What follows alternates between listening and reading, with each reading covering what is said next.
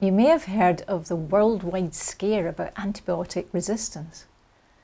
Because of the overuse of these precious medicines, antibiotics, there's a real risk that we're not going to have effective medicines to fight infection when people really need it.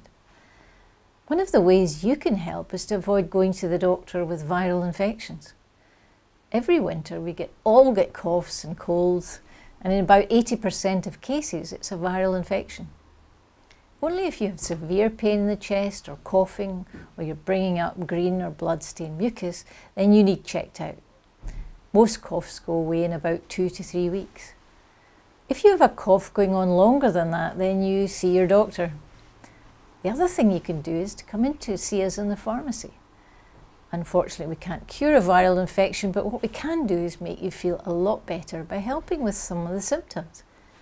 Cough bottles containing Pholcodine are useful for stopping a cough, and a decongestant such as pseudoephedrine can clear congestion from the nose and head. Antihistamines such as triprolidine are useful where you just need to stop a streaming nose. So most of the time you don't need an antibiotic, but a chat with myself as a pharmacist can help.